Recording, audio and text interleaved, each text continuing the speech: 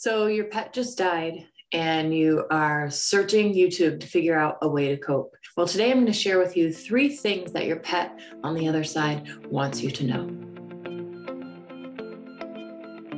Hi, my name is Danielle MacKinnon. I am an animal communicator. That means I connect with animals that have crossed over, as well as animals that are living through my intuition. Um, this YouTube channel, all of my YouTube videos are really dedicated to helping people who are uh, going through the grieving process. One of the things that I've noticed recently is I cannot keep up with the number of um, comments, but so many of the comments are My dog just died three hours ago. My cat died this morning, two days ago, that kind of thing. And I and I'm looking for help. I'm trying to figure out what do I do? What can I how can I fix this, this, this, these horrible feelings that I have? And um, I'm not going to tell you how to fix because we all need to go through the grieving process. That's a very natural thing. But I am going to share with you three things that um, the animals have shown me that may help you adjust to the loss of your pet a little more easily. Okay, to start, the first thing I want to share with you has to do with the number one question I'm asked in my comments in my YouTube videos. Uh, when an animal has crossed over, most people are writing, I hope he knew how much I loved him. I hope she knew how big my love for her was. Um, and I think that question comes from the fact that we, as humans, we want to have closure. We want to have that last moment. We want to be able to say all those things that maybe we didn't say. And um, so we, as humans, we like that. That helps us feel good. Animals don't actually need that. They don't need that type of closure because they're connected with us at a much deeper level.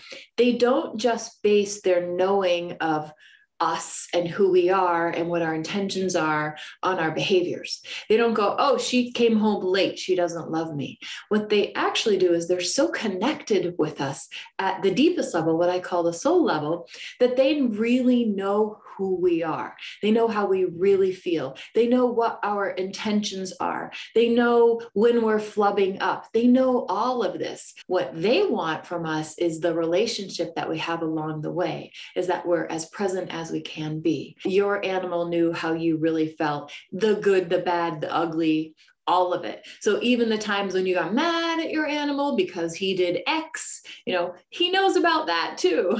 but they also are able to see the real true good in all of us. So you can trust that your animal really um, tapped into you and knew the whole deal.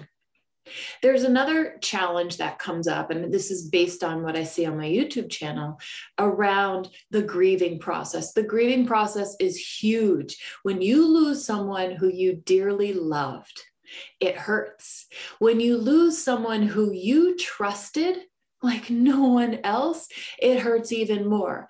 And when that someone is an animal, uh, to me, from what I see, that's that's the hardest and I know it sounds crazy that I'm saying that losing this beloved animal can be the hardest, but when you lose your mom or your dad or a beloved family member, there are grief counseling services, there are cards, there are all types of situational, there's just a lot of help out there for that. But when you lose a beloved animal, there are people out there who do not understand that this is it for you, that this is hurting you like no one has ever hurt you before, the loss of this animal.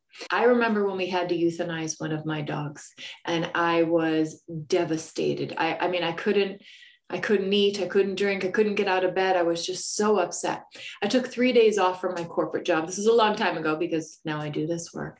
But um, I came back to work and my boss looked at me with her arms crossed and she said, I feel like you took advantage of me. And I mean, at the time, I could barely even speak. I really shouldn't have been back at work. I wasn't functioning.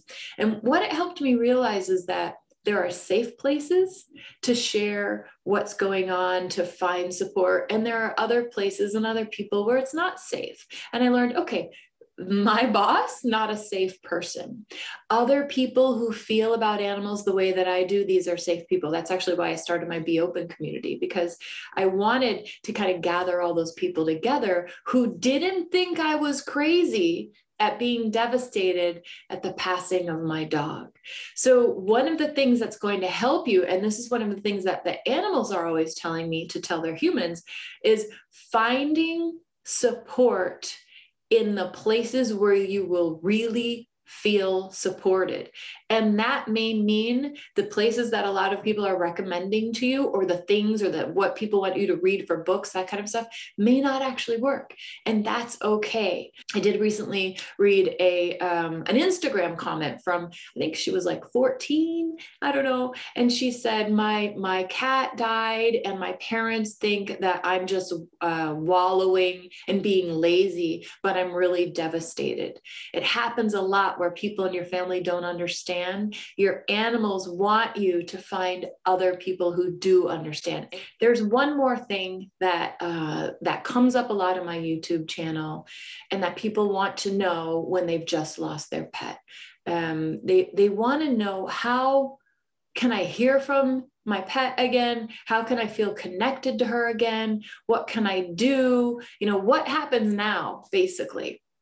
Um, and I have a lot of videos on how to get a message from your pet, but I'm just going to talk here for a moment about the place that you're in right now. If you're watching this because your pet just passed, I want you to understand that this is a little bit of a wonky place. This is a, a kind of a like an interim in between place. When an animal crosses over, there is a, a, period of time where that animal spirit needs to adjust to not having a physical body anymore.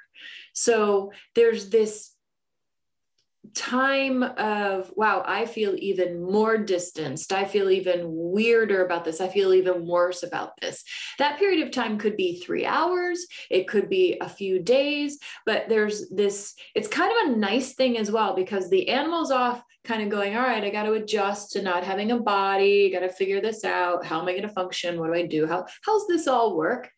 At the same time, you're going through your, I've got to adjust to not having the animal around. This feels really terrible. I, I'm not enjoying this. And so you kind of both end up being a little bit more separated while the adjustment happens.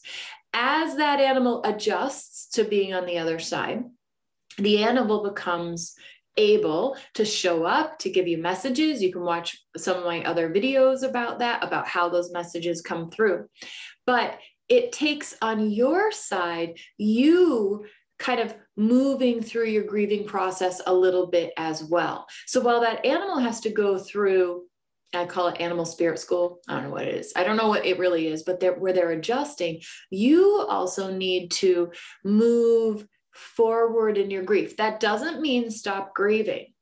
But if you're in a place where um, you can't breathe, you're not eating, that kind of thing, and so these are often natural parts of, of grief.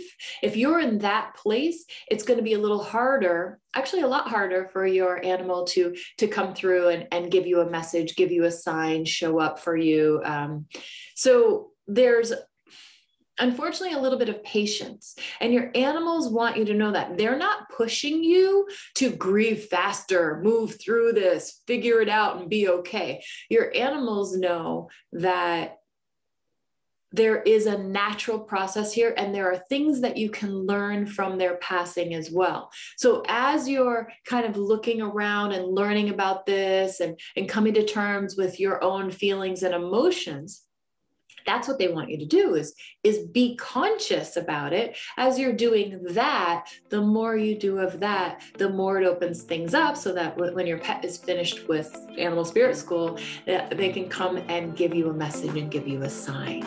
I also have a video on reincarnation. You might want to check that one out next. Sending you my love